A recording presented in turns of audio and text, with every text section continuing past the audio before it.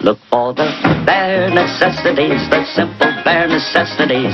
Forget about your worries and your strife. I mean the bare necessities are Mother Nature's recipes that bring the bare necessities of life.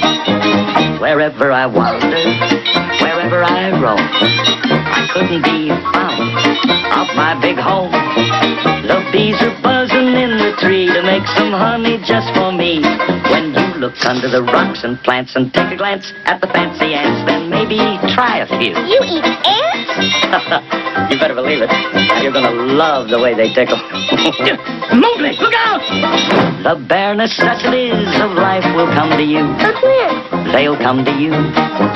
Look for the bare necessities, the simple bare necessities. Forget about your worries and your strife. I mean the bare necessities. That's why a bear can rest at ease with just the bare necessities of life.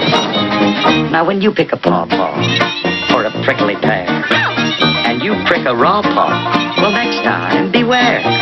Don't pick the prickly pear paw. When you pick a pear, try to use the claw. But you don't need to use the claw when you pick a pair of the big pawpaw. Have I given you a clue? Golly, thanks, Baloo.